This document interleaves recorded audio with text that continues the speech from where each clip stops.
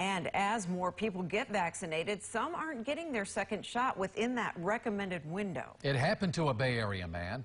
Desperate for the dose, he reached out to 8 on your side investigator Mahsa Saeidi for some help. That's right, Keith and Stacy. The second dose can be delayed up to six weeks or 42 days. The experts say that you do have some wiggle room. But what happens if you miss the six-week deadline, too? Well, it was taking my mom to get her second shot. Vincent Tuzolino got the first dose of the Pfizer vaccine by luck. He drove his mom to Ed Radice Park for her shot. The 46-year-old ended up scoring a leftover dose. But I said, I'm not of age yet. She said, we have extras. We don't want to waste them. So I said, I'll take it. That was on January 29th.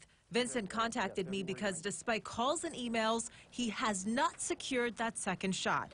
He says he even dropped by Hillsborough's site. Well, I told her how I got the shot, that I got it by, by accident. They had extras. And she said, well, we're not doing that now. Did you know that you're actually four days overdue? Yeah, yeah, I was getting close. That's why I was trying to get it. But wait, the experts say you've got 42 days. For Vincent, it's day 46. Does he need to start over? Can he even get that second shot now? Enter Moffitt's Dr. John Greene. Yes, get the second vaccine. Yes, it's late. It's probably fine. It just wasn't in the guidelines of what the CDC recommended. That's all we can say. Okay, back to Vincent. Getting the vaccine fast is his best shot. The health department told me Vincent can get the second shot at the FEMA run site in Tampa. You go there, you bring your vaccination card. They tell me you're going to get vaccinated today. Okay, perfect.